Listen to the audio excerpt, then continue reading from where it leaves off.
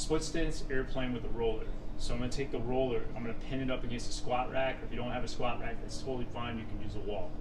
Um, roller's gonna be just to the inside of my knee, got the weight distributed on the inside of my foot, big toe anchored to the floor.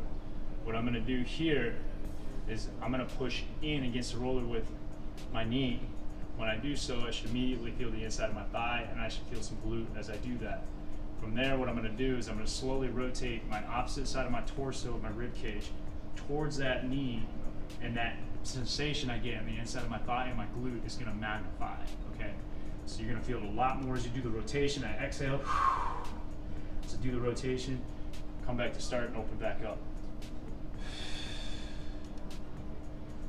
Inhale.